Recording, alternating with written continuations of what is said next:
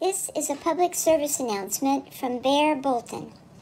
I need everyone to stop poking each other. I have a story. When my mom was five years old on a farm in New Hampshire, she found a frog living his life in a nearby field.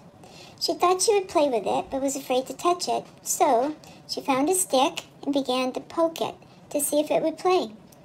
It wasn't long before the frog stopped moving and stopped responding to being poked.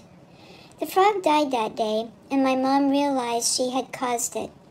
She never forgot about what she did, and the memory comes back when she sees and feels people poking each other about their hair, religion, color, orientation to life, kids, you know, politics, all the things that go into making us who we are. Can we stop poking each other and just be nice? We can disagree and say, but what about this or what about that?